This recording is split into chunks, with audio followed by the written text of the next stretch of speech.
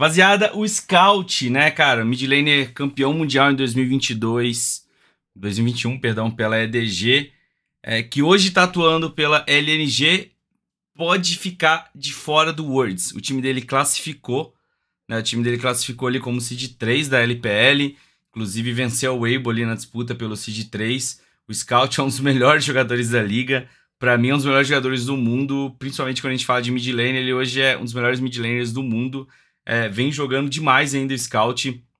Ano passado também estava jogando muito, mas não teve uma performance boa no Worlds. Mas de qualquer jeito, treta bizarra rolando. E cara, o cara pode ficar simplesmente de fora do Mundial, mesmo ele tendo conseguido a classificação por causa de um processo do seu clube antigo. O clube em que ele disputou a maior parte da sua carreira, foi campeão da LPL diversas vezes e também foi campeão do Mundial, a EDG, né? Então aqui, ó, tô pegando aqui o o tweet, né? O, é, o post aqui no Blue Sky, aqui do LPL Insider, né? O Scout pode não participar do Worlds 2024. De acordo com a mídia coreana, o Scout poderá ficar de fora do Worlds por processo movido pela EDG. A mídia chinesa, no entanto, não está feliz com a decisão tomada pela antiga organização, né?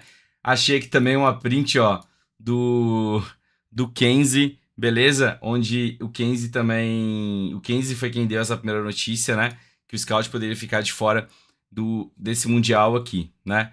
Voltando um pouquinho a outras atualizações que o LPL Insider deu, a atualização da LNG no caso Scout.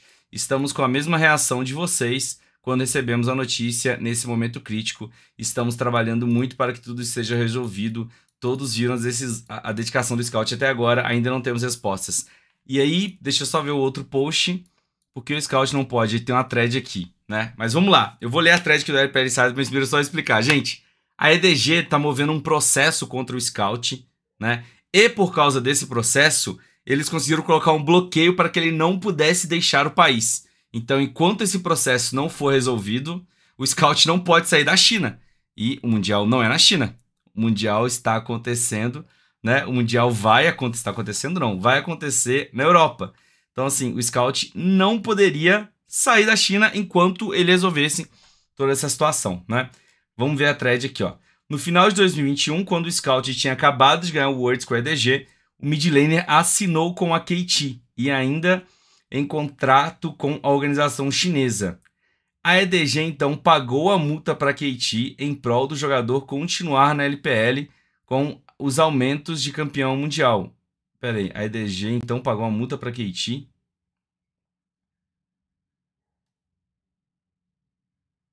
Agora fiquei meio confuso. Por que a DG ia pagar uma multa para KT? Tá, o Scout tinha assinado com a KT e aí ele tinha e aí a EDG viu, veio falar com ele que ele ainda queria ele. A EDG teve que comprar ele de volta da KT, mesmo ele já tendo, mesmo ele já sendo antes da cara da EDG. Que confusão. Beleza. Aí tá. E aí na hora de renovar então agora com a EDG, com eles tendo pago a multa para KT, ele pediu um aumento para a EDG. E o time não aceitou a quantia que era pedida e decidiram não renovar. Os boatos que correram era que Lee e Echan têm assinado com a LNG, aceitando receber menos do que ganhava na Edward Game. Então, Lee Echan é o, é o nome do scout, devo até confirmar aqui, né? É, é o nome dele, né? Beleza. Então, tipo assim, que depois ele acabou assinando com a LNG por um valor menor ainda.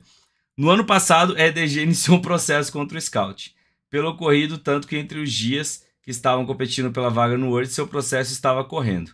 A EDG chegou a ganhar em uma das instâncias, mas não aceitou as propostas feitas e abriu um pedido essa semana para proibição de saída do país. Como com o Scout sendo estrangeiro, fica ainda mais fácil de impedi-lo sair.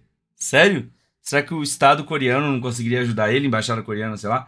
Scout voltaria para a Coreia do Sul após o final da temporada, mas por conta do processo permaneceu na China. LNG e o jogador agora aguardam decisão da segunda instância para saber se o jogador conseguirá jogar a fase suíça do Worlds ou não. A LNG não tem midlane reserva, sendo Shadow o sexto player e o jungler. Caso Scout realmente não consiga jogar a fase suíça, o time precisará fazer um empréstimo de um midlaner que não se classificou para o Worlds né? Kenzie, do site sul-coreano Daily Sports, foi quem noticiou primeiro, beleza. Como o scout pode sair dessa? Aguardar o estado oficial, pagar os débitos que a EDG pedir. Outro ponto a destacar é o contrato de scout com o LNG termina em novembro. Provavelmente o scout é quem deve arcar com os custos. Scout também está perto do seu alistamento militar. Portanto, é um risco que a LNG terá de pensar. Cara. Ai, meu Deus, que drama é esse, rapaziada? Então, mano, e ainda tinha a parada que ele, durante a LNG também, ele quase. Ele quase fez algo parecido com a LNG, né? Uma coisa meio, meio doida. Eu tinha escutado, né? Deixa eu ver aqui que o Cálice também mandou umas coisinhas aqui, né? Ó, 2021, né? Eu não tinha entendido essa questão da multa, beleza? É, eu tinha uma parada que, tipo assim, ele, ele tinha uma questão também que o, o Scout ele tinha uma situação onde ele não precisaria de pagar uma multa caso ele fosse para um time coreano, porém ele acabou indo para a LNG. Tinha uma situação meio que essa também que rolava, né? Poderia rolar, tinha um negócio meio assim também. Cara, mas bem bizarro tudo isso, tá? Bem bizarro. E aí agora a questão é o seguinte, cara. O cara pode simplesmente ficar sem jogar o Mundial. Não deve ser pouca grana isso, tá? A gente pode estar tá falando de uma grana bem pesada para a EDG tá tá para EDG tá processando ele. Se fosse uma parada pequena, né? Se fosse uma parada pequena, provavelmente a provavelmente a LNG só teria pago e tudo mais pro cara jogar mundial, mas aparentemente não é. Olha só, teve isso aqui também, ó, que saiu no, no Reddit, né, na tradução do manager da EDG falando um pouco sobre o Scout e o Travel Ban. Ó, ele fala: no dia que a LNG conseguiu a sua vaga para o Mundial, algumas pessoas da LPL me contactaram para me perguntar sobre o Scout.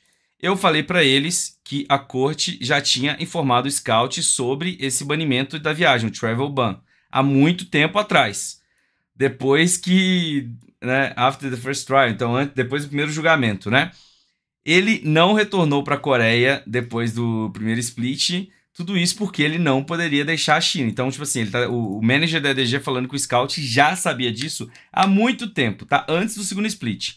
A LNG contactou a LPL porque a LNG está esperando que a LPL possa mediar isso e resolver a situação, né? É, eu perguntei para os representantes da LPL se a LNG já não deveria saber sobre isso há muito tempo, né? E eles falaram que a LNG simplesmente descobriu alguns dias atrás. Então, assim, o que ele está querendo dizer? Mano, o Scout estava com isso já há meses e meses e meses e ele não contou. Ele só contou agora para a LNG, beleza?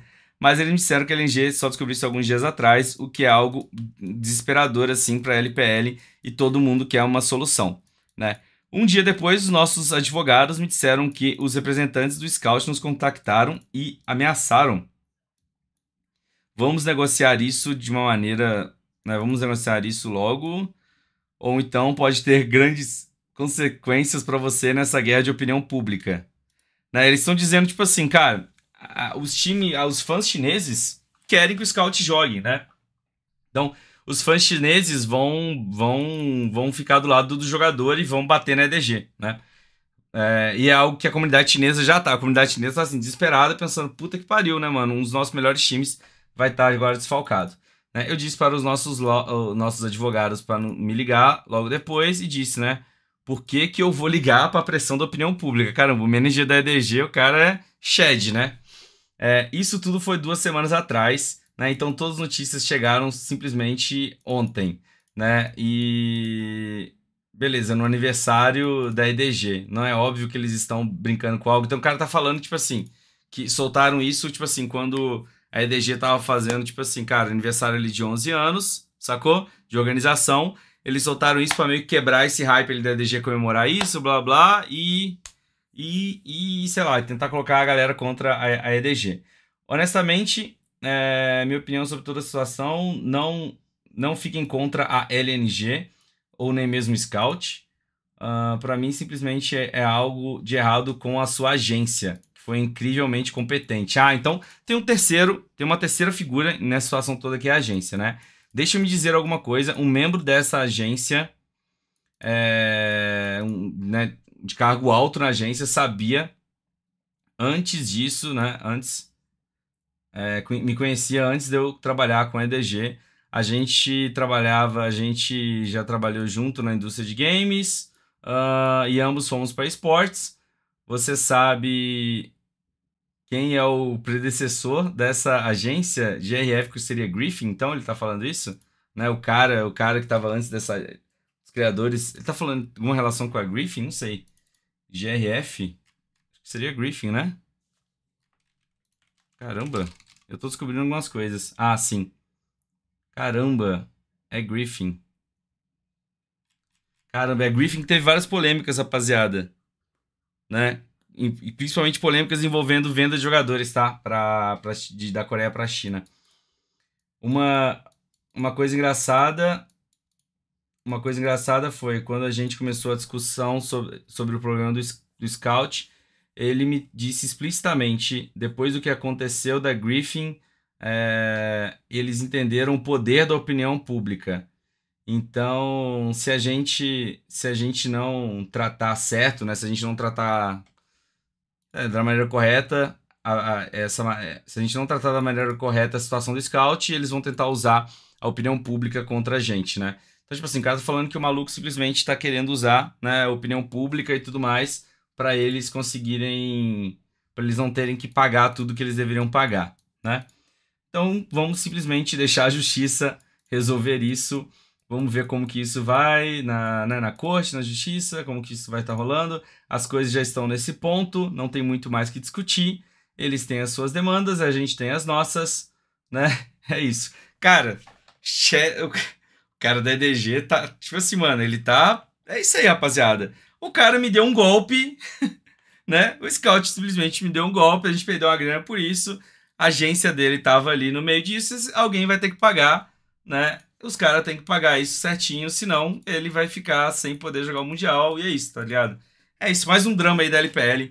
Deixa o like aqui, comenta aí. Já já vai começar o nosso conteúdo pré-words, tá bom? Top 5 de cada role, tier list do Mundial. Já já vai começar tudo isso, então deixa o like aí, ativa o sininho pra você não perder. E eu tô indo pra Berlim dia 23 também, vou chegar lá pra poder fazer a cobertura. Me siga no Instagram também, que vai ter muita coisa saindo lá. Siga o Mais Esportes também, nossos canais agora do WhatsApp e Telegram, onde a gente manda as notícias diariamente. Um grande abraço, valeu, falou!